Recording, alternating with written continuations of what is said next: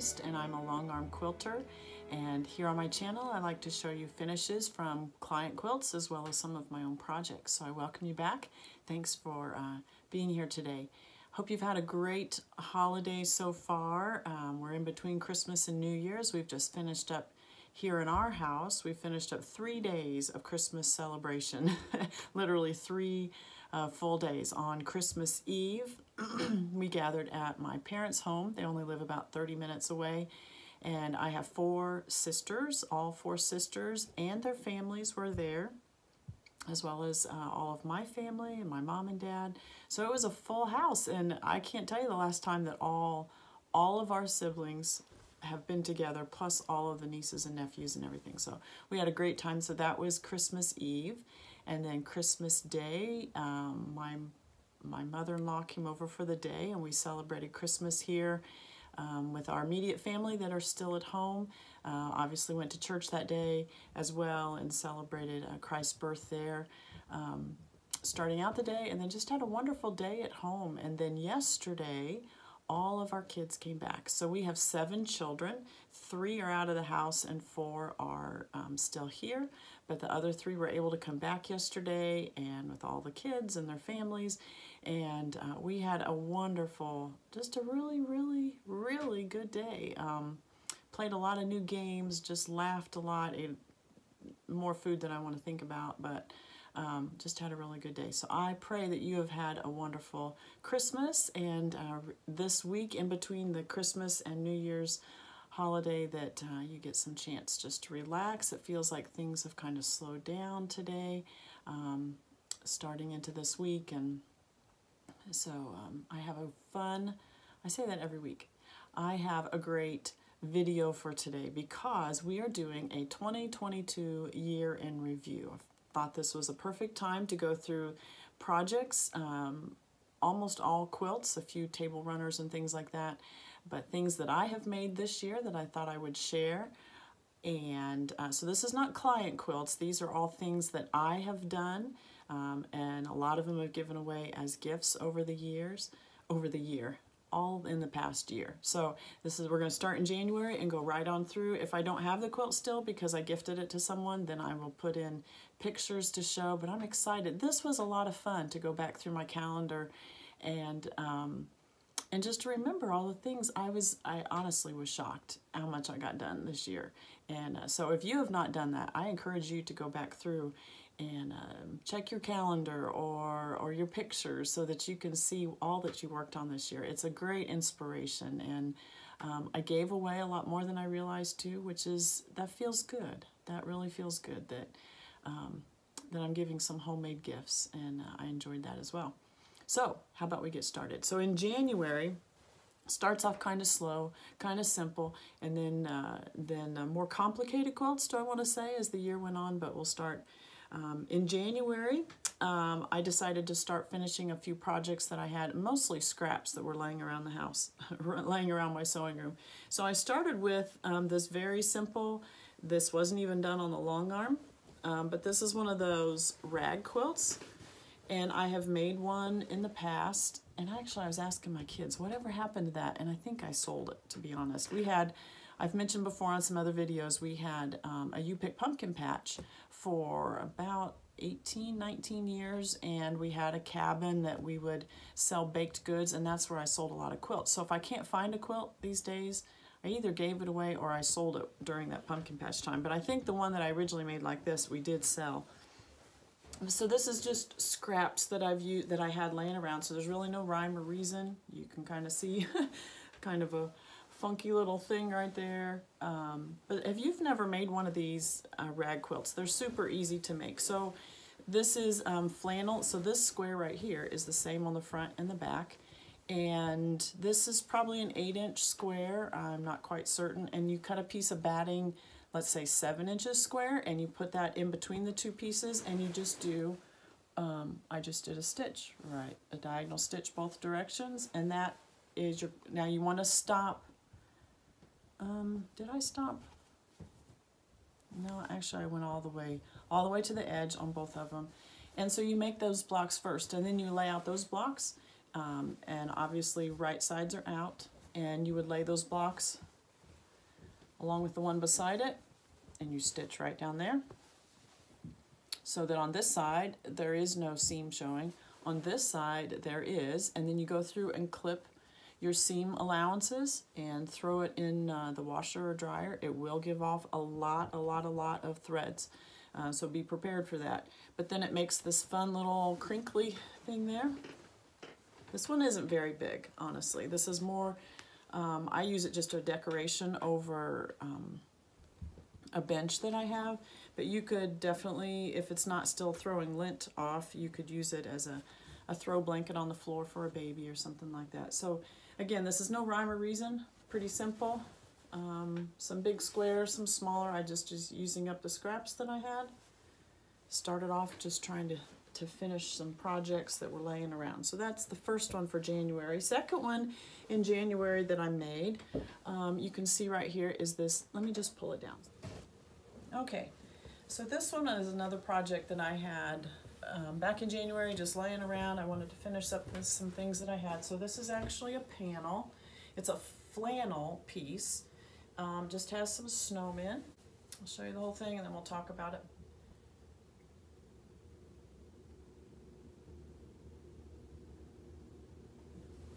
All right, so this one is a snowman panel. And um, let me see. So you can notice some of the same fabrics that I used in the um, in that rag quilt. So I again, it's flannel, so I tried to use a few. I did the panel itself. Yeah, the middle part is entire panel. And then I just added a, a skinny border around here. So you can see this green, and a solid red right here and then I did a larger yellow um, a golden and then a red and then I bound it with a green flannel. So can you see the pantograph on there? I love this one. This one is called sweater weather. So it looks like the the cable knit sweaters that you would wear. Let me get this one up closer. It's a really cute, works really well for uh, anything winter. And now this one, we I know we talked about last week how you can um, put a quilt on different directions on your long arm and then it can, uh, your pattern can be different directions. This one, obviously the, the cable knit is running this way, so you would have to load it um, up and down for this because if not, if you loaded it sideways, then your cables could be up and down, but you know, the, the knit sweaters that you had, the cables run up and down. So you could run this either direction. Actually on the back, I did not use a flannel. This one is a regular piece of uh, fabric, cotton fabric. You can see there the cables running up and down. So maybe I should have done it that way. I'm now looking at it, it does kind of look like the knit sweater, you know, the cables knit running up and down. So I have it sideways, but if I hold it this way, you can see how the cables might look like they were going up and down. That might be kind of neat too. Actually, more I think about it, maybe that would have been better. I don't know. Anyway, that's another January finish. And because I finished, it was only out for a short time last year, once I got the binding done. And um, so I'm excited to put that out. In um, for Christmas decorations, we always decorate with nativities, not really Santa. Um, not that I'm against Santa, but we just don't decorate with a lot of Santa, so we do a lot of nativities. And I really don't even do a lot of snowmen at Christmas. I save those for my winter decorations. So we'll have Christmas up for about another week, and then we'll start pulling out all of our snowmen. And so I'm excited to put that quilt out for January and February before we switch to spring things in um, probably middle of March or so. So I've got a lot of fun um, snowman decor to put out. The next project that I have, I actually gifted this one.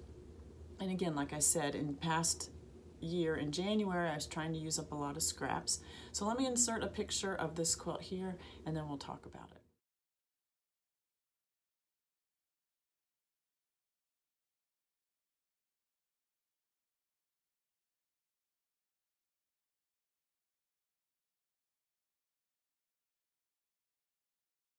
Decided, I just called this a four patch, my original four patch. I designed this on EQ8 and just laid out some of the colors that I had. And the fabrics, um, I love these color fabrics. I think I've mentioned that before to you. But uh, I designed this in EQ8 and laid it out and just stitched it simple, four patch, not a, and then I did some half square, if I remember the picture right, um, some half square triangles and then some, uh, inserted some white creamy color fabric there. Um, and then I ended up gifting this one away. The finish on that one is Karen's Chevrons. And if you're a long arm quilter and are looking for that um, pantograph, Karen's is spelled K-E-Y-R-O-N-S, Karen's Chevrons. And I actually used that pantograph several times this year, and I'll show you in some other quilts that are coming up. May have to make another one like that. Again, those were my colorways, and I gifted that away and uh, really enjoyed that quilt.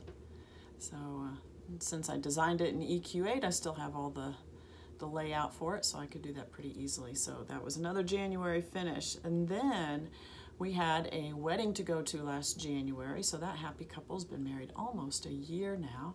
And let me insert a picture of that quilt for you, and then we'll talk about it.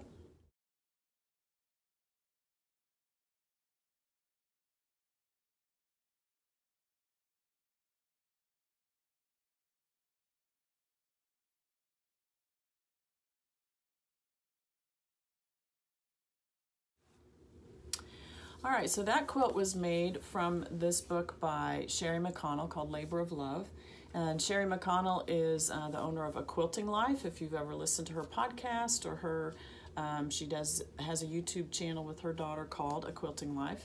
And I've made several quilts out of this book. I enjoy um, this one. And that quilt that you just saw a picture of was um, called Garden Path. And here is Sherri's version of it in the Sorry for the glare there. So if you know Sherri's colorway, um, more pastel, almost a muted pastel, really. Um, and that's, she calls this Garden Path. So in the quilt that I made, the couple that was getting married um, really enjoy, enjoy horses and ranching and that kind of stuff. So I went with the brown colorway on that.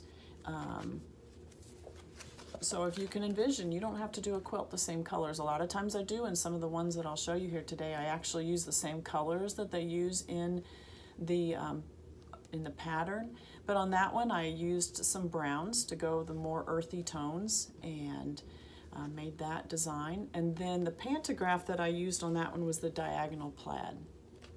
I shrunk that one down and um, and finished that off, and I thought that looked really really nice. The couple was happy with it.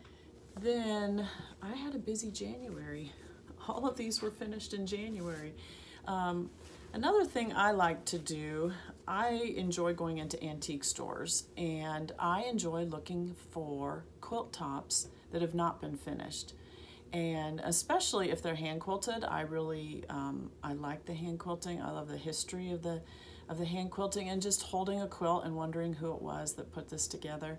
And um, I don't have any certain colorways that I'm looking for. It's usually something that I just enjoy. Uh, if I enjoy the pattern, or I enjoy the colors. It doesn't even bother me sometimes if it's got stains or something. To me, that's history, and I enjoy that. So this next quilt was a partial top that I found at an antique store. And then um, because I have a long arm, uh, I like to finish those. And um, a lot of people would say you need to do it a hand quilting. I have found that you can finish it on the long arm and it just, um, it adds a lot. I mean, it's not the same as hand quilting, which is fine. Um, but I, I enjoy doing this and seeing the look. So you want to see this one? This is um, Grandmother's Flower Garden. These blocks were all hand. Now I haven't finished this one, the binding. Um, I've got to get to that. Actually, several of the projects that I pulled out to show you today, I don't have the binding finished on. I think that's a problem. I think what I end up doing, I'm so excited to get the quilting part done and then I'm on to the next one and don't fully finish my projects. And that's, I need to make that a goal in 2023. So this is uh, Grandmother's Flower Garden. When I got these, this was all together like this. I did not put any of the blocks together, um, but they were all hand stitched. And uh, this is not a full-size quilt. I could use it, actually this piece hangs in my Um, actually, behind my long arm, I have um, a uh, an antique um, quilting frame, and it's not set up. I just have um, like the legs on either side, and then I have the long bars sitting on top of those legs, and then or uh, you know the long bars, and there are two of those long bars. So what I do is I pin this quilt like uh, to be held in between those two bars so that it hangs down and it it's what I'm looking at when I'm looking from my long arm um, back towards the wall. This hangs on that side. So it's long and narrow. You could use this um, at the end of a bed, probably, something like that. But uh, all of these, um, just so fun. These were all hand pieced. And then let me show you. I can hold it up larger so you can see how big it is.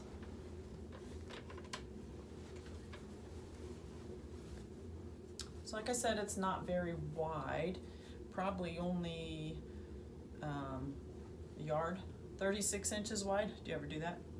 Did your grandmother taught you that? A yard is from your nose to the as far out as you can hold. So I'd say it was about 36 inches wide. Isn't that pretty? I, I just love this. And then it's um, probably twice that long.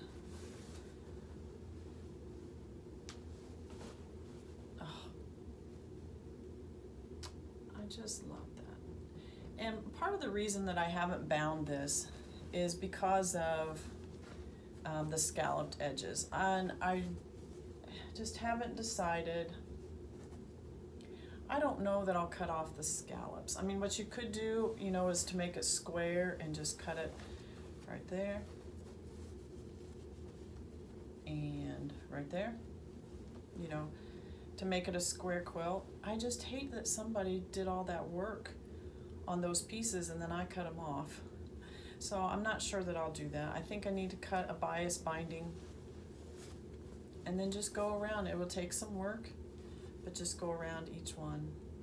I just added a muslin on the back. I didn't want to do a print on this one, so just a muslin. But then when I hold this in close, you can see the pantograph that I used. Um, this one is called Woven Wind. Almost mimics a clamshell type or a Baptist fan, just a little more flair to it. Uh, but I thought it added a little bit of whimsy along with a little bit of traditional feel to it. And I, I think it added well. So getting close so you can see that. The blocks are in really good shape. You can tell that they're a little um, dark, maybe a little stained, but I don't remember per se any holes, any rips, any tears. Um, so yeah, so like I said, right now this is hanging in my sewing room. I like that little nod to uh, those who have come before me to be right there with me in my in my quilting studio. So really, really nice nice. I, I like that. I like that piece. All right, in February, I worked on a baby quilt for um, a niece of mine who was having her first baby, and her mom, which would be my sister-in-law, asked if I could make a baby quilt. And uh, let me insert a picture here so you can see this quilt.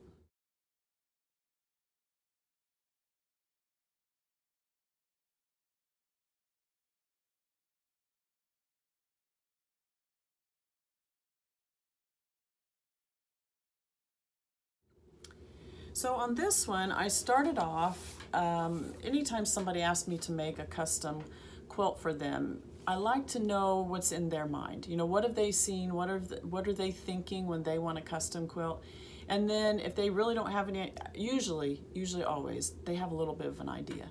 They may not know how to express that to me. So I will usually send several um, pictures of projects that I um, like or that I think they might like, and then they can say, yes, I like this, and tell me what they like about it. Is it the colors that you like? Is it um, the shape? Is it the design? You know, what is it that you like? So, when we were starting this baby quilt, um, I sent them a, some designs, and this is one, let me show you first. This is Camille Roskelley. This is from many years ago. Uh, this book is called Simplify by Camille Roskelley, and one of the baby quilts that she has in here is this one right here with a monogram. And monograms um, seem to be coming back. I don't know. This is, and so I sent a picture of this and did it in the colorway that uh, they were doing the baby's room in. And they said, no, that, that was too busy. They didn't want that. But what they did want was the baby's name. So I kind of used this as an inspiration. And then on that quilt, you noticed um, they wanted the baby's name. And so I had a friend of mine embroider that just on a piece of white. Um, I can't remember if it was white fabric or white muslin. I, muslin, I really can't remember. But we embroidered the, um, the name and then they just wanted it very simple, more of a modern look. And so um, I then incorporated that one piece where the name was into a larger piece of white fabric and then um, put the border around it and then just stitched it and stitched it really good. I like the texture that was in that one. That one was called Time Warp. Now you kind of look, it looks very similar to what I did on this one, which was the Woven Wind, but the Time Warp um, pantograph.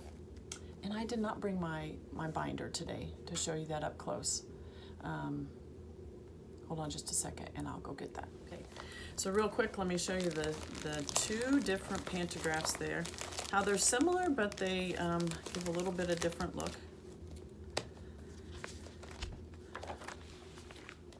All right. So this one is Time Warp. And I think on the baby quilt, I actually did it this direction. And then this one is the Woven Winds that I just showed you on this antique um, mother's flower, grandmother's flower garden. So a little different. Like I said, this one kind of mimics um, a little bit of Baptist fan, a little bit of clamshell, where this one, different but similar. And then this is the time warp that I used on that baby's quilt. And it just added a lot of texture, um, but the colors very minimal and uh, really cute. They were really happy with that. And the little guy's using it in his room, I'm assuming. So again, just be able to take just some inspiration from one quilt and then turn it into uh, your own creation. That's, that's kind of fun. So that was February. In March, I did make another baby quilt for um, for a friend who is having their second baby, and let me insert a picture of that one here.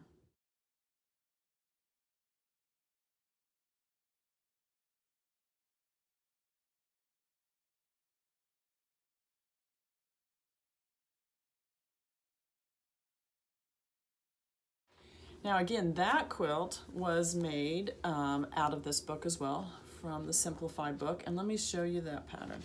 This one um, is called Little Man, so Camille actually made it up in boy prints. But I did that one in girl prints because obviously the baby was a girl. This is a real simple pattern. Um, you use four different fabrics and then you arrange them in different ways. Um, so you have some of the fabrics that are the same here and then the same one here, right? Yeah, but the middle parts are different. And then you arrange them, put a little bit of um, the uh, um, background fabric, and then turn the blocks different directions. So very simple, and then you have a little bit of a couple borders just on the top and the bottom, not all the way around. Um, but this went together really quickly. And so then I made that for in a girl colors. And I finished that one in, uh, the pantograph is called Propel. Now, a lot of times I'll use Propel on um, airplane, something that I want to, hmm, oh, here it is. Okay. I've used this one on on themed fabrics, like I said, like airplane ones. But I, I used it on that baby quilt. Um, let me get this just right so you can see. There you go. I don't know. I don't know what inspired me. It's been a while, obviously, since I did that one. Um, but I did this one pretty tight on that baby quilt. Um, that's called Propel. This is by the Longarm League. This is one that she puts out. So fun, fun, fun, fun. Baby quilts are so fun because they come together quickly and uh, the mamas just love to use them. I enjoy making baby quilts. All right, on into springtime. All right, so in the springtime, we're getting to April here. Springtime, I decided uh, to put my name out there to do a couple of pattern testing for um, usually new designers or fairly new designers that were needing people to um, test their new patterns. So in April, I actually did two. And the first one is called uh, Diagonal Dazzle. Let me find my notebook. Right here. Okay. So the first one I did was called Diagonal Dazzle, and this is uh, the company, uh, the gal's company is called Mix, Measure, Make. And here's a picture of the pattern. This is now out. You can go to her website. Um, you can see it there at the top, Mix, Measure, Make. And um, she's got a couple different patterns out there. This is a black and white. Um, when I printed it off, I did it in black and white, but obviously I think her colorways were more of uh, like a uh, greenish, aqua, banana pepper type colors. Um, and then I'll, I'll, show you mine. I actually did mine in red, white, and blues, and so I'll show it. The neat thing about this pattern, you can make it in different sizes, but then you also have enough blocks left over, enough pieces that you can make the second one. And I have not done this. These, these pieces are sitting up there in my sewing room, and I don't know why I haven't finished it. But So that's kind of a neat idea, you know, because you're cutting them, I think it was like half square triangles. You were uh, using the larger part. You weren't stitching down either side of a middle seam or, you know, of a middle part. You were uh, stitching down the middle, folding it back, and you're cutting away the little bit of extra, and then you can use these extras to make a secondary quilt. So, let me show you mine. I Like I said, I did mine in red, white, and blue.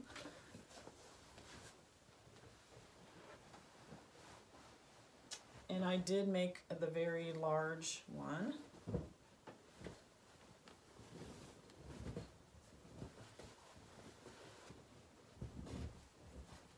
Oh, turn it this way.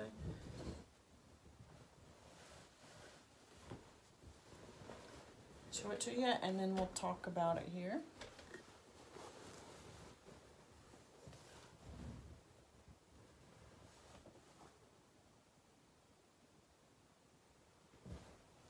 I'm getting close so you can see one of the blocks. So when I chose the colorway, I did um, red, white, and blue because this was in April and I was thinking then we would have it out for, for uh, the summer. Starting Memorial Day, I usually put out my red, white, and blue stuff. Starting Memorial Day all the way through Labor Day. So very neat, a very intricate design. There you can see, and it's the same block. I have one, one, two, three. How many do I have this way? Three. One, two, three. So it's a square. It's been a while again. I apologize. The sad thing about this quilt is over the um, over the summer I had this out on our porch. And we have a wraparound porch around a couple sides of our house. And I had this out and we have a new puppy. And one day she decided to get a hold of my blanket, my quilt. Look at that. I don't know. I don't know if it got wet or something and she was, uh, he, not even she, I don't know why I said that. Look, so like, made me sad. Yeah, got a whole corner of this side. Look at that. He was not my favorite puppy there for a while. But live and learn, right? All right. Um, let me show you the back, because on the back you can see the pantograph a little better. This pantograph is called um, Becker's, Becker's, B-E-C-K-E-R-S, Becker's Crop Circles. So I made it pretty large. This one's been washed a couple times. You can see how it's uh, getting the, the puckering to it, which is always fun. Um, there, you can see that. So I did it kind of large uh, just to add some softness with all of the strong angular. I, I like the print. I like how it all comes together and then you get the larger design between the blocks. So it's the same block here and here. But then do you see how you get like these secondary patterns in here on the outskirts of the, the block where it meets up? Because the block meets, you know, right down here through the white part. So half of that, half of that uh, square is on one block and half of it's on the other block. When you put it together, it looks like a, a whole square there. So really nice. So if you would like to make that quilt, you can go to Mix, Measure, and Make and uh, find that pattern on there. When I um, pattern test for um, designers, um, I take it seriously because they want to know. I'm what you're doing as a pattern design or pattern tester is you are making sure they have enough fabric that that's called for. You're making sure the directions are clear. And some people will hire a tech editor as well to do some of those more techie things, but I, I tend to do that when I pattern test as well. So I'll have notes all, um, you know, my pattern, I'll have it all written up, um, marked up as I'm making notes of things. Are they, is this too much fabric? Is it not enough fabric? As a long arm quilter, I always want to make sure they've got enough fabric for the backing because in long arm quilting, we need some extra. If you were just doing it on your home machine, you may not need as much, but because a long arm, we have to attach that backing fabric onto leaders, on the long arm, we need some extra um, fabric. And so I always tell people I need four extra inches on every side. So if your quilt is 80 by 80, I need 88 by 88 backing and batting fabric. So that's one of the things I always look for when I'm pattern testing. Uh, if the instructions are clear, if there's if the designs are clear, if there's any typos, uh, I'm looking for all of that. So that was the first one that I pattern tested. And then in April, I did a second one. Let me show you that one. This pattern was called Pot Blossoms, and this is, um, the company is Potcake and Company. This one, very large pieces, um, very different from the first one I did, where the first one was very small pieces. This is large pieces of fabric. This came together very quickly. And um, I did the colorway. I printed this in color. She shows several color options. This isn't the best. My printer wasn't printing the best in color. There are some different color options that she has. And in the pattern itself, she even includes um, a coloring page so that you can test out your colors. And let me show you my quilt that I made. On this one, I used um, all fabrics from Corey Yoder. I had to think about, this is all Corey Yoder fabrics. And I made the largest one too.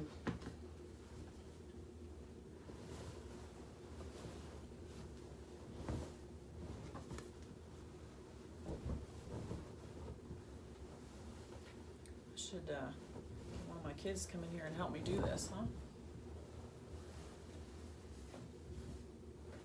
And I can insert pictures so you can see the, the quilt laid out.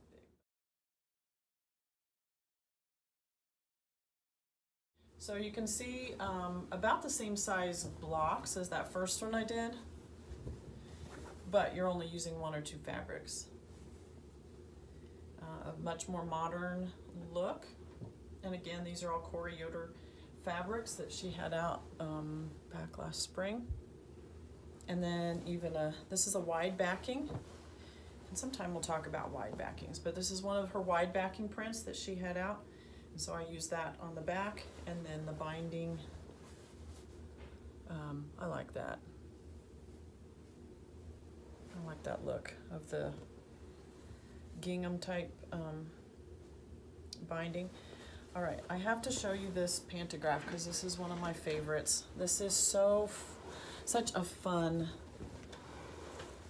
pantograph. This is called Knit One Purl Two. I can't get there, you can kind of see.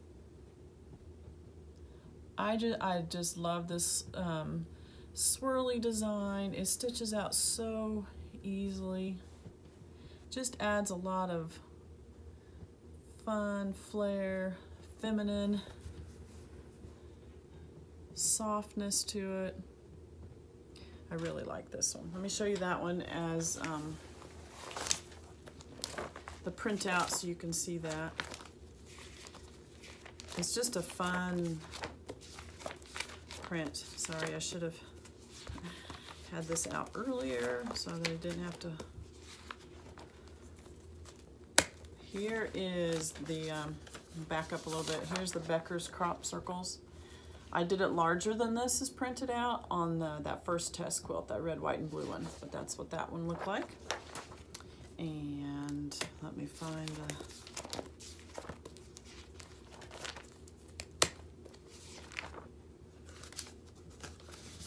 and here's the knit one purl two. So it stitches out this direction, but obviously in the quilt, so, you know, it may look, this one looks good no matter which direction. It's not, I wouldn't even say it's really directional. It's gonna look really good. So obviously it's gonna stitch left to right that direction. Um, so if you're wanting your quilt a certain way, we can obviously orient it that way. Um, but on a bed, I don't think you're gonna care which direction. I, I this is a lot of fun a, lot of fun pantograph. So that was my second test quilt. And um, let me see. Yeah, a second test quilt. And I did them back to back in April. It's a lot of fun. Pop, pop cake? No, what did I say it was?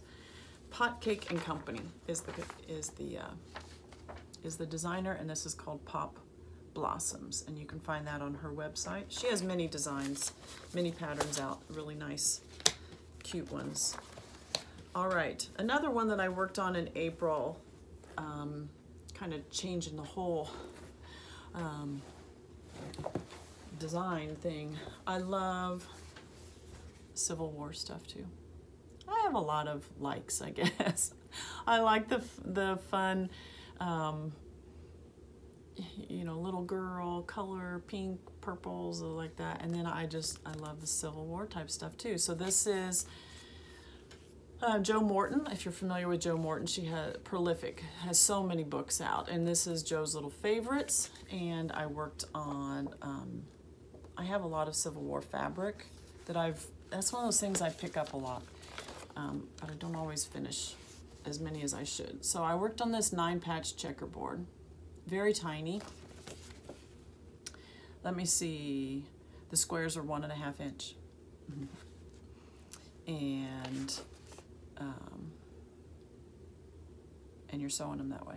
It's not even, uh, you're cutting them one and a half inches and sewing them one and a half inches. It's not like you're strip piecing any, any of it.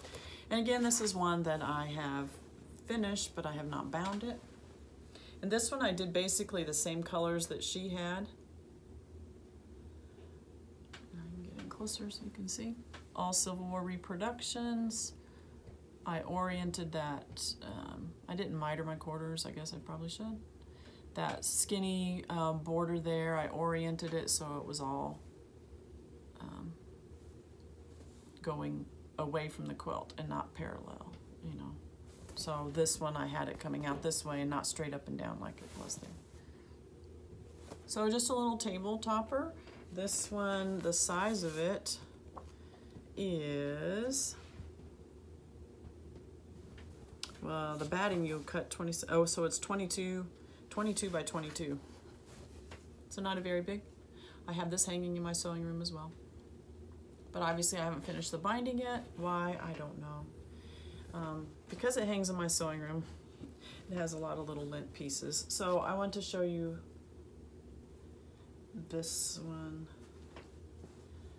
Um,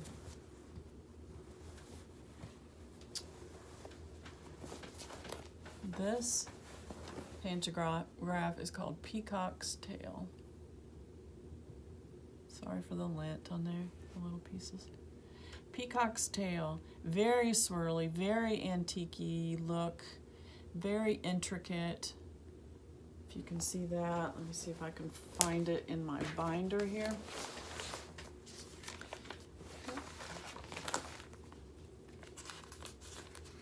Very tight, very intricate.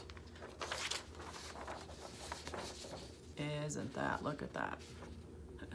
That's a piece of artwork in itself, isn't it? And so then those nest into each other. So you can see how, you know, this top part up here would nest right in here when you're doing the second row. Um, but it adds a really cute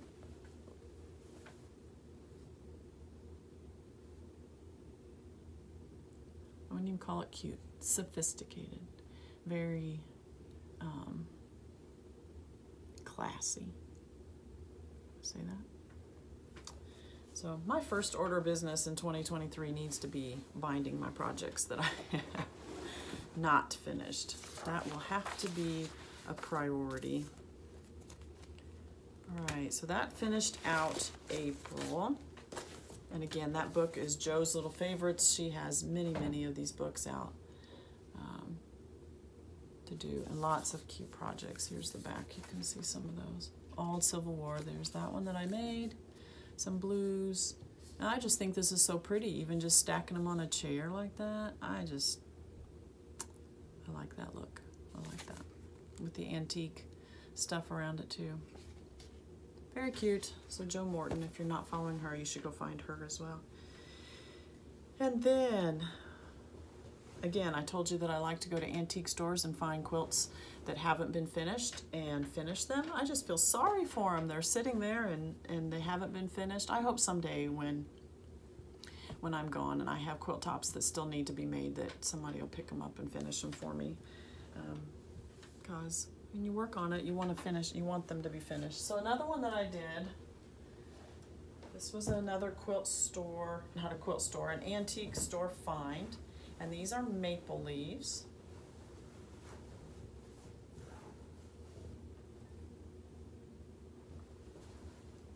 Silly chair. Get that out of the way for you. All right, maple leaves. So what's interesting about this one is the maple leaves point in towards the quilt. So the first three rows there are all pointing in that way. Let me hold it this way, maybe you can see that better. So the three on this side are all pointing in and the three rows on this side are all pointing in. All done. These are more what I would say 60s, 70s fabrics, so not terribly old, obviously. It's all relative, right? Um, not terribly old. I can get up close so you can see some of these fabrics. So like that one. You might have a dress made from that one? That might be a 50s. And then you've got more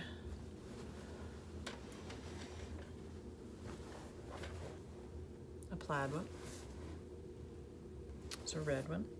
That might even be a 30s type look. What do you think? But this one, I think that's a 60s or a 70s print. This is a cute one. This is a red polka dot, red and white polka dot. And then you have, you know, a black gingham. And then here, blue one. It's almost like a polka dot and a gingham. And another plaid. These look more 60-ish ones to me. That's what I'm, those fabrics look more 60-ish. That one, anybody have a dress like that? The brown plaid. So what's fun about this quilt is it not not necessarily is it fall all fall colors. I mean, there's a purple, and uh, this orange one is cute one, and then even some florals. But then, you know, so you have the maple leaf blocks, and then in between is the, the solid color yellow. And I just put a muslin backing on this one as well. Now, I did stitch this one pretty tight as well. This pantograph is called Merge. Tight lines with a bit of a diagonal. Um, bit of diagonal, then it goes up and comes back down. Nest inside of each other. Smudge on that one there. Can you see that? So added a touch of modernness, I thought, to this one that was, you know, I guess most people may not even pick this up at an antique store. Maybe it's not there. I just thought it was cute. I thought it was cute. And added that merge. And again, binding's not done. I don't know. Uh, I'll work on that. But that's a fun quilt fun, fun, fun.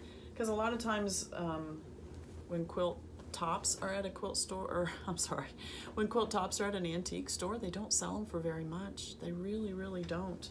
And so if you can finish them yourself, And then you've got a touch of history, touch of the past, along with new stuff. Oh, gotta move some of those out of the way there. All right. Then we're on in getting into June. In June, I made a graduation quilt for uh, a friend of ours, and I'll insert a picture here.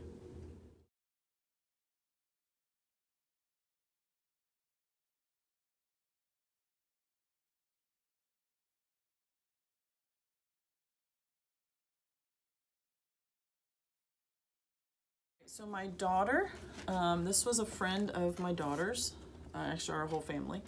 Um, but one of my daughters went with me to pick out the fabrics for this one. The recipient of this one loves nature.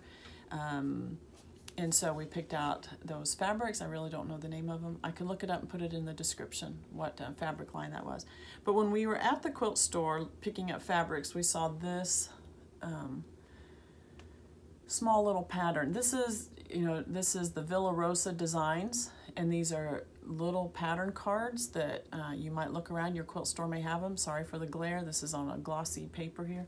Just a couple bucks. This one was $2. All right. Real simple. This one used um, 10 fat quarters and a half yard of binding. That's it. Okay.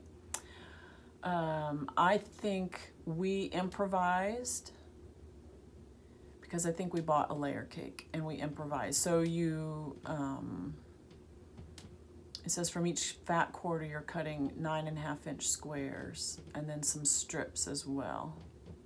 And I think we improvised because I had a layer cake, so we cut the squares and then, uh, you know, again, you take a pattern and if it doesn't quite fit what you have, you can make it work. You can do it. Um, so Villa Rosa Designs, we use this pattern. And again, the colorway, this one is browns, oranges, blues, turquoise, and we made it total pastel, if you saw that one. Now I finished that one with um, ginger flower pantograph. Again, just continuing that um, nature feel. This is ginger flower. Simple, cute, went right along with that quilt. Really cute. This one's good on a little baby's quilt too. Works nicely on that. So that was June. We're just moving right along through the year. In July, we had another wedding. And um, so I've gifted that one, so I'll insert a picture here.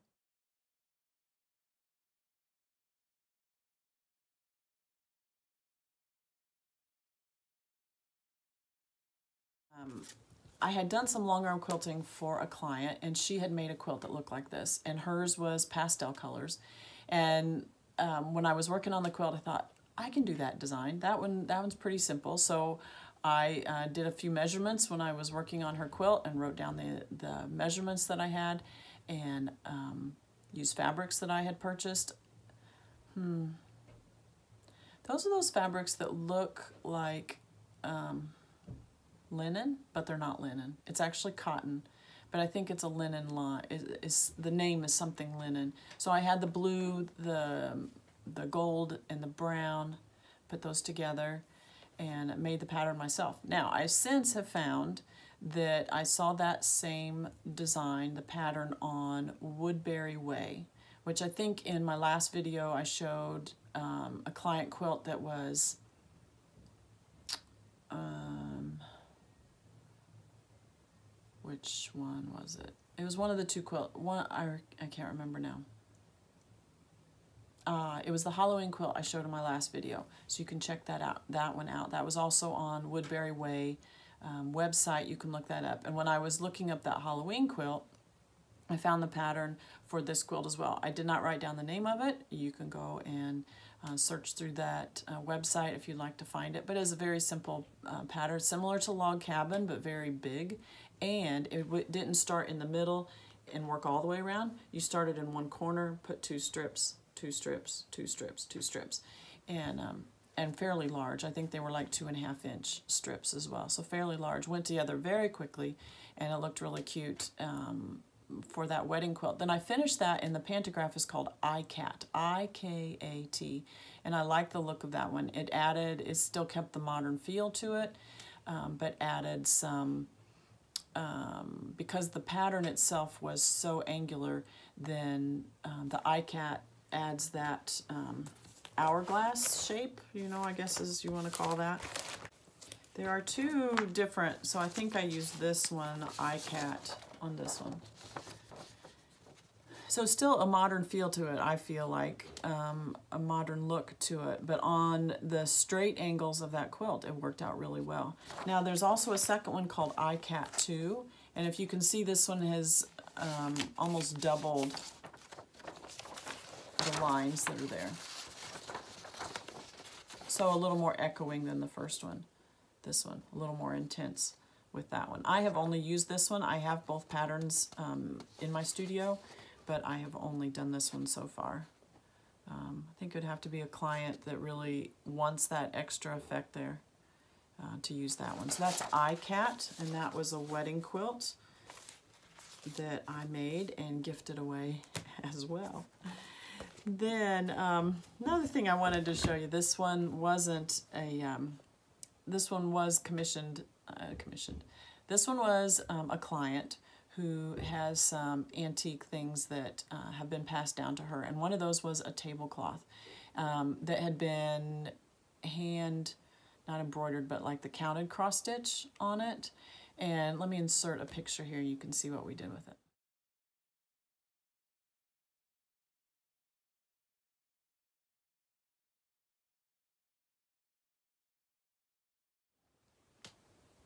We actually did two of these. I'm only going to show one here, and I don't even remember the um, pantograph that I used on it. But this is an antique tablecloth. And um, the client said, I'm not ever going to use this as a tablecloth anymore. Could you do something with it? And I, absolutely. We put a uh, piece of batting and a backing fabric on it and uh, stitched it up and trimmed it up. And now um, she can use it as a throw on the couch. She can use it as a wall hanging.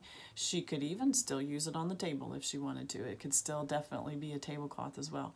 Um, so just giving new life to something that you might find in an antique store or you might find in uh, your grandmother's um, hope chest or something that's passed down to you. I just I love to do that um, to keep some of our heritage with us, but to do it in new ways that we'll actually use and not just be put away in a box so that the next generation gets it and says I don't know what this is, um, but to get it out and use it and tell the stories behind it. And um, so I hope you enjoyed that and hope you'll um, find some things like that that you can uh, pass down and uh, recreate and use and even maybe put your the initials on it of who um, originally made the top and then you finish the back or you send it off to a quilter to be done. You know, there's no shame in that as well.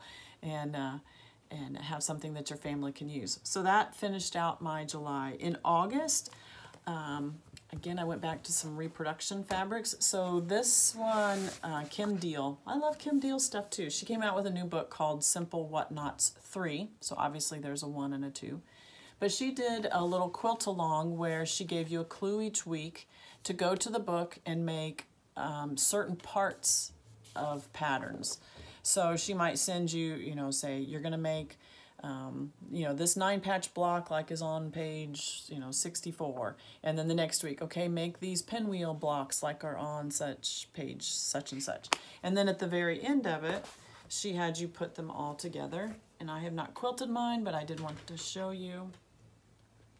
So then she had you put them all together. This would be a cute little table topper. And I just need to get mine quilted. Maybe I can get that done this week. So you might start out so you can see some pinwheel blocks, Ohio Star blocks. You can see the block in the middle with uh, some small flying geese. Those are pretty tiny. And then, um, I'm not sure, are those snowflake blocks? I'm not sure what those are called. Or even these are really cute. So you've got the double pinwheel. So there's three of them on this side, three of them on the opposite side. And then, so in one week you were making, you know, these three of those and those three down there but we didn't know the final design until the end. And then you can see just a, um, no, just the little blocks as a border right there. So that was fun. You're using the book in a different way. I know designers are trying to do that, that don't just buy a book and then leave it, but to give you different options for it. So that was a lot of fun. And I'll link this one below if there's, um, she used a lot of, I would say Kim Diehl, uh, a lot of reproduction colors, but then she adds in those purples and um, some pinkies. And she does some um, applique. Her applique things are really nice too. Um, so just some really cute. So here's, you know, similar to the um, reproduction, but then she adds in those pinks, those muted pinks and purples that I don't, you don't always see in the other colorways. And um, some are small projects, some are bigger. Some look, you know, fall. Here's a, an example of her applique. So she's got an applique piece in the middle. That one says it measures, oh, that is really tiny. It says the quilt size is 18 by 18. Oh, uh, I saw that picture and I thought it was a larger quilt. That is tiny. So this book being her Whatnots book, that's why these are a lot of tiny projects. But she has other books, Simple Grace, Simple, it all, they all start with Simple, which is really cute. And she does the antique stuff in her pictures as well, which I just love. So that was fun. So I'll try to get that one quilted. But I just wanted to show you. Did I see up close, some of those fabrics? Look at that one. Isn't that cute? All right. Then in August, I finished my Lori Holt My Happy Place quilt. So this was a sew along that Lori Holt started last summer through the fall or last fall through the winter, something like that. I did not, I wasn't able to keep up with the sew along as it was going, um, but I did finish it. And this past August, I was able to quilt the top and get it bound. And I'll show you that one.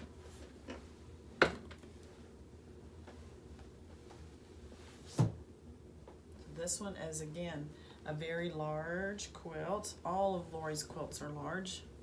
This is one of her um, applique quilts. I used all Lori Holt fabrics. So I'll hold it up big and then I'll get in closer to show you the different parts. Make sure I get it right.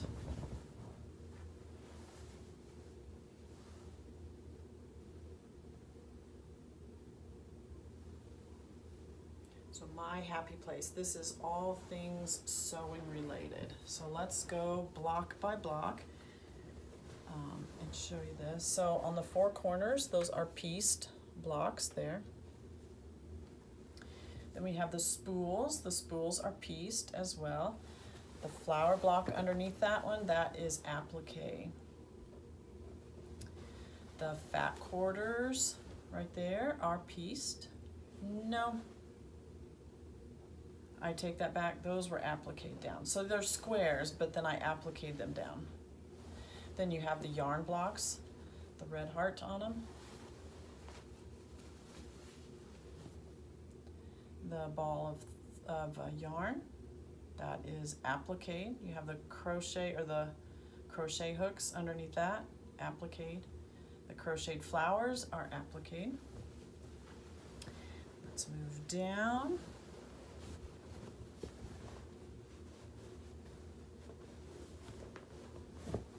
All right, we have the cross stitch the scissors first of all, and then the cross stitch skeins and the cross stitch. Isn't that cute? So you actually cross stitch on the on this fabric that is um, a pink and white check. And you actually cross stitch that design and then you applique the circles and then even added the little buttons so that it looks like the uh, the little screw at the top of the hoop. Isn't that cute? And then the big center block is the sewing machine. This is all applique. And the pin cushion. Isn't that cute? All right, then you have several pieced blocks there. And then the scissors.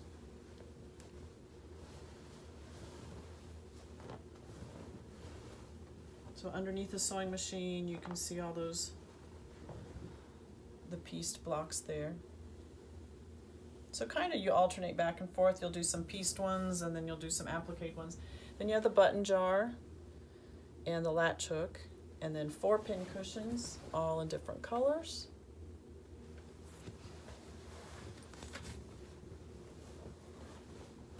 And then across this way you have a needle book, pieced block there in the sprayer bottle cute with the antique iron and using some rickrack as the cord, and that's all applique. Then you have the pieced blocks down across that that looks like, um, you know, a tablecloth or something like it was sitting on. And then the border. Isn't that cute? Now, in the binding, Lori doesn't do this on all of her quilts, but on this one she did you have, uh, she had you do a rickrack along with the binding. That's the first time I'd done that on a binding. I could have done a better job. I'll have to get better at that.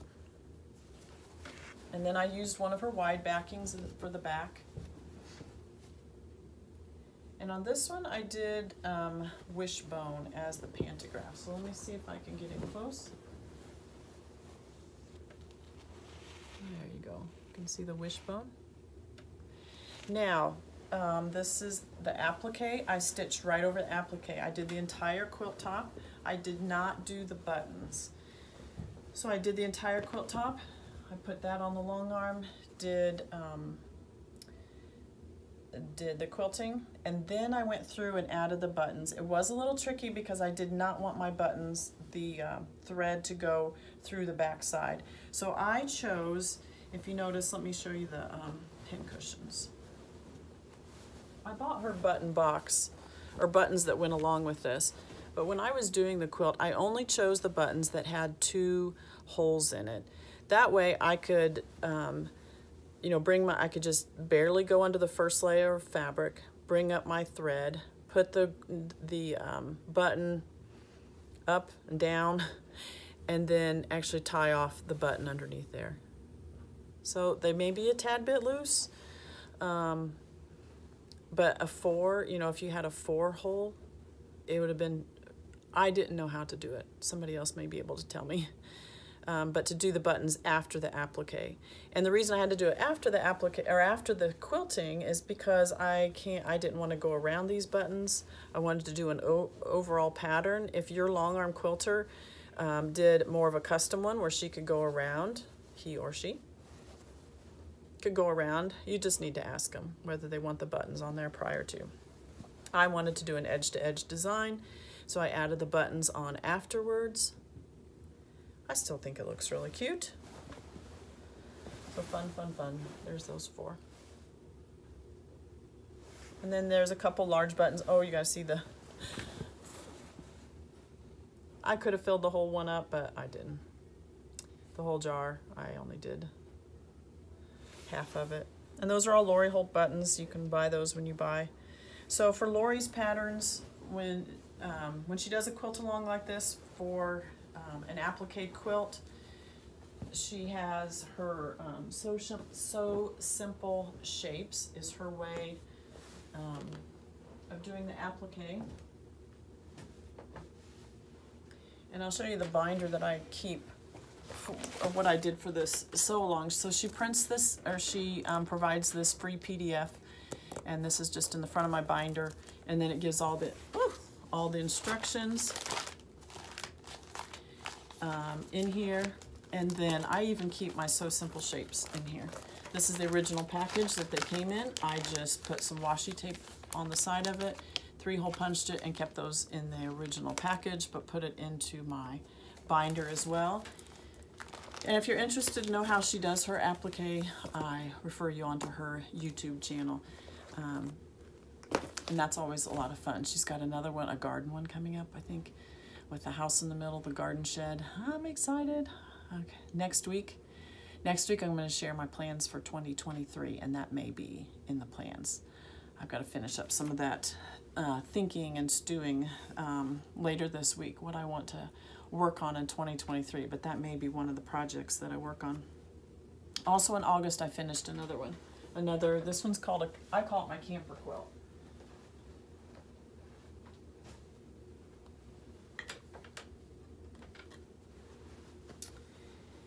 And I'll have to put in the description down below the designer of this panel. I don't remember off the top of my head. Let me show you the whole thing first.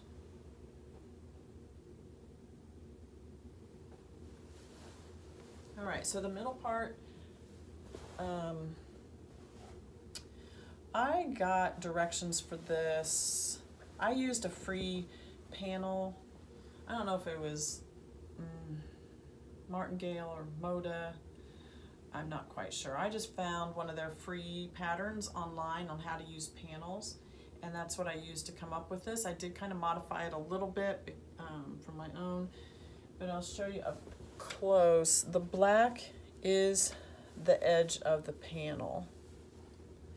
So all that middle part is all panel. Black is the edge of it. And then I added a white border here. And then these were um, a charm pack. I added some other fabrics that I had in with it. So you can see like that one matches the panel. Um, to fit the size that I wanted, I did larger squares on the side, but notice that there's skinnier ones across the top and the bottom. But then larger down the side. And then another white border. And then this is not from the same line, but I thought it matched well enough, this, um, this pink flower one.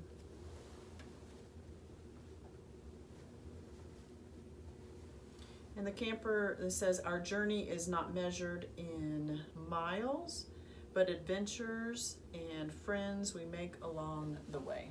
Thought that was cute. So for the backing, I wanted to use up some of the other of those outside fabrics. So I just made a bit of a checkerboard with a bunch of those fabrics. And then I had, part of the reason I had to do this is I didn't have enough of this to do the whole backing. This uh, matches the panel, obviously, and is a little different print than the smaller version on the front, but similar. But I didn't have enough of that to do the whole backing, so I just used some extras and made a big checkerboard stripe down the back. I thought that was cute. All right, so let's talk about the pantograph that I used on this one. This one is called Thread Garden. And I think it'll show up best on the white. Um, so I'll show you into there. And I'll show you the printout too so you can see the whole thing. You can see almost a hot air balloon type thing down here. Very flowery. I'll just have to get out the print out so you can see it. Almost like a jack type thing there. Let me find the the stitched out or the um, printed out one so you can see this up close because it's an intense paint or um, pantograph as well. This one printed out very small, so obviously on the quilt itself it was much larger than this. And the darker part is the pattern and all the others it's repeated. So to me, this part right here kind of looks like a hot air balloon. Maybe it's like a seed bulb, I don't know. This over here almost looks like butterfly wings. And then you have this right here. Um, what are those one flowers that have just like the big purple ball on the top? Or kind of looks like the, uh, the old time jacks that you would play with.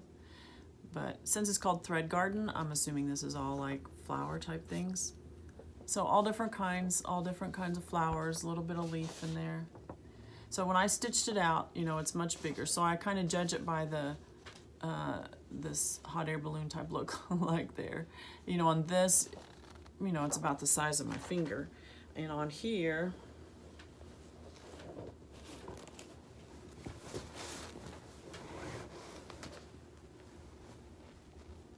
right there.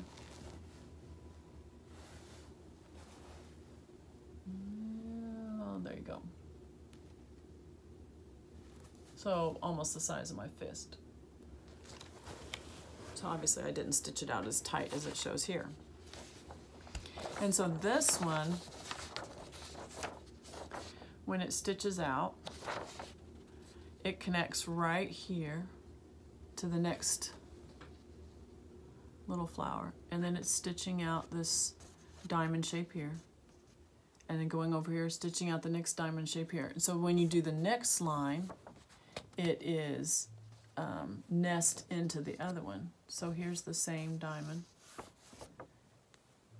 So it takes some precision to line up there because um, you want this one to fit right down into the other one.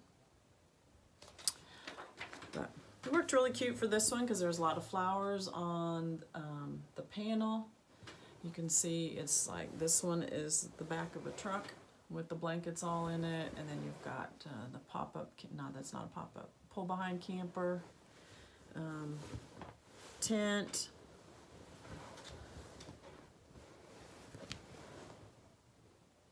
pull behind. Aren't those cute? Like glamping.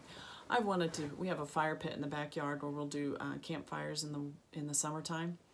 And um, I've put the idea out there to my husband that wouldn't it be fun to get a camper like this? I don't care that it runs. I don't care that the tires are good. I just want to park it back there and that be the girls. So if you want to um, spend the night out by the campfire, you can sleep in that one. And then I want to get like an old horse trailer and put bunks in it, and that would be the boy one. Wouldn't that be fun? You have a boy and a girl little things. I just think one of these days. But this is kind of what gave me that idea. So this is my camper quilt. Um, this one's just for us. I picked up this panel, um, one of those expos that I talked about last week when I, you go to one spot and there's like 35 uh, quilt stores there. This is a panel I picked up at that time. Let me show you the binding. I did do a black and white gingham binding. And if you just see it there, it's like, why in the world would you do black?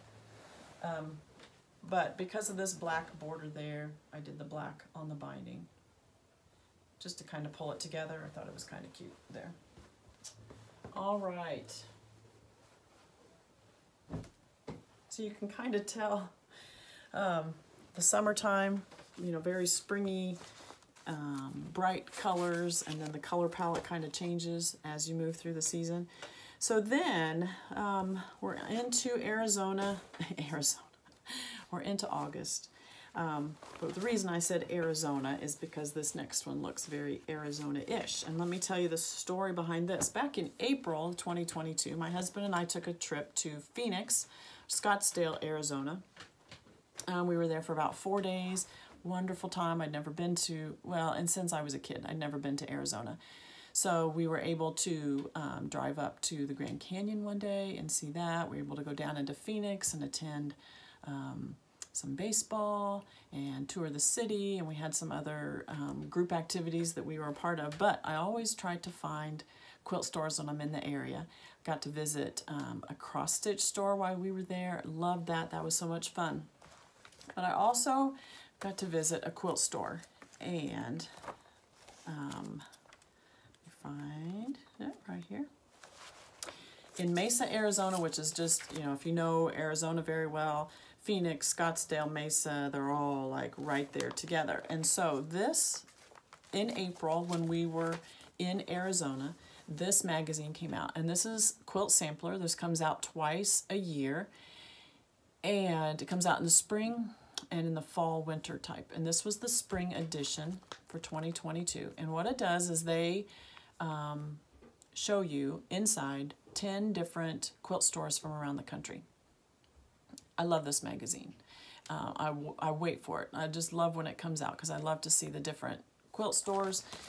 And it shows you a map of where, um, what I've also done if we've been traveling to somewhere, I'll pull out my old magazines and see if there's a quilt store close by that's been in the magazine that we can go visit while we were on our way. So this magazine came out in April, and that's when we were in Arizona.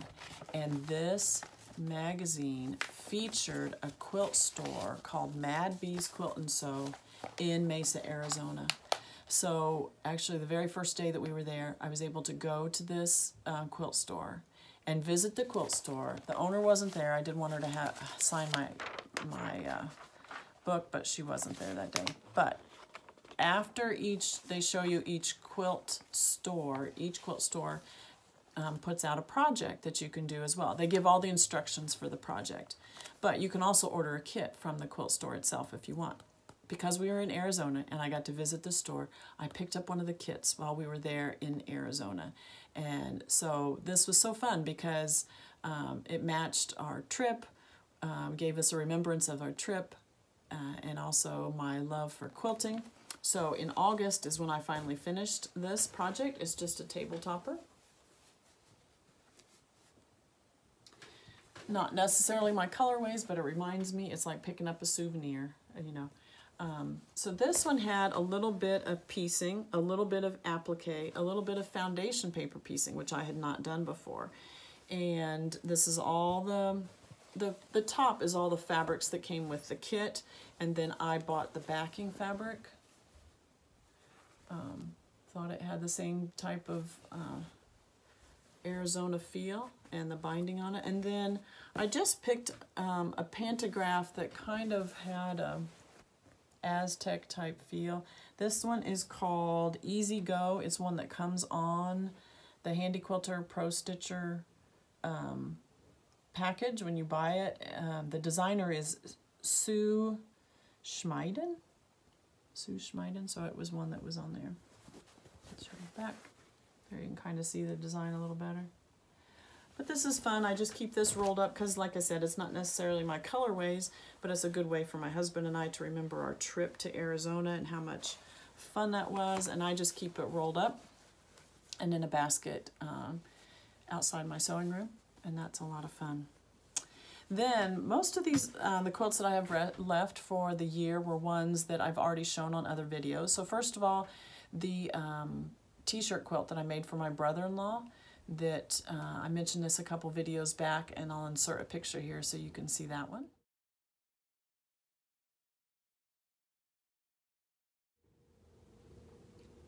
So the short story with that one is my brother-in-law um, was a tree fluffer uh, for many years and he retired from that um, part-time position this past year and so uh, my sister-in-law asked if I could make a uh, quilt for him using the t-shirts that he would get each year from that job and I um, used the inspiration from Camille Roskelley's Alpine quilt to add some Christmas trees in with that.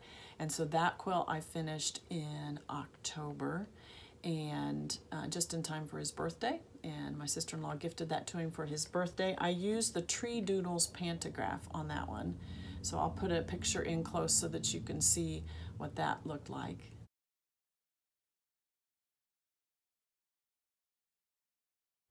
Perfect. So that was October.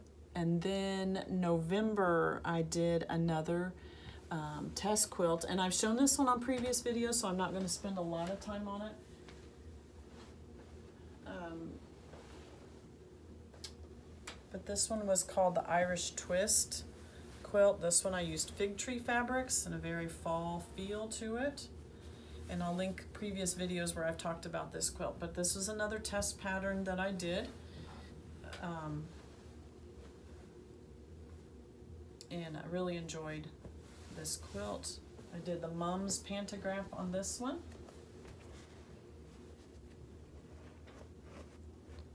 Went along with um, that fabric right there. And then that was a fun quilt. So like I said, if you want more information on that quilt, you can go back to um, some previous videos where I talked about that then in October, oh, November, that was November. I finished that one in November. I finished the wedding quilt for our friends, and I'll insert a picture here so you can see that one.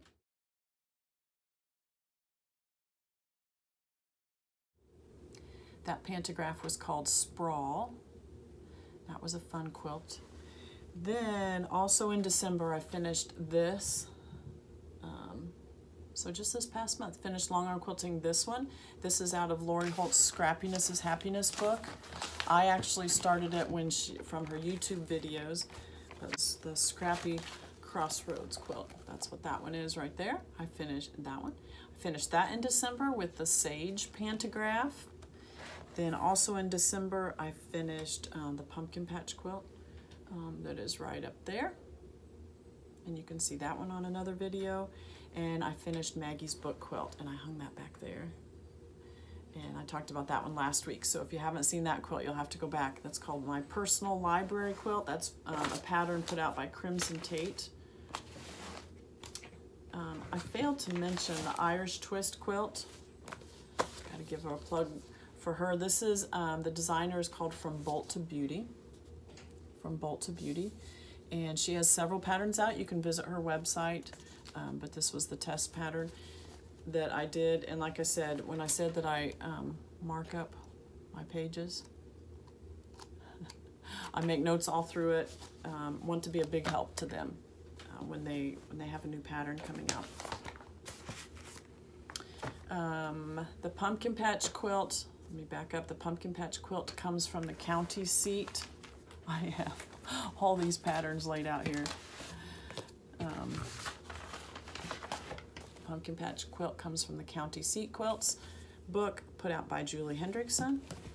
Library quilt back there comes from this pattern put out by Crimson Tate, my personal library quilt. And like I said, you can go back to last week's video to see more details about that one. And I have one more quilt that I finished up for a Christmas gift and gave to my son. And let me put in some pictures here.